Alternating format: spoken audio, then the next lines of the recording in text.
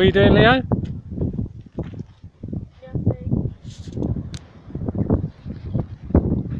Are you making a, a shape?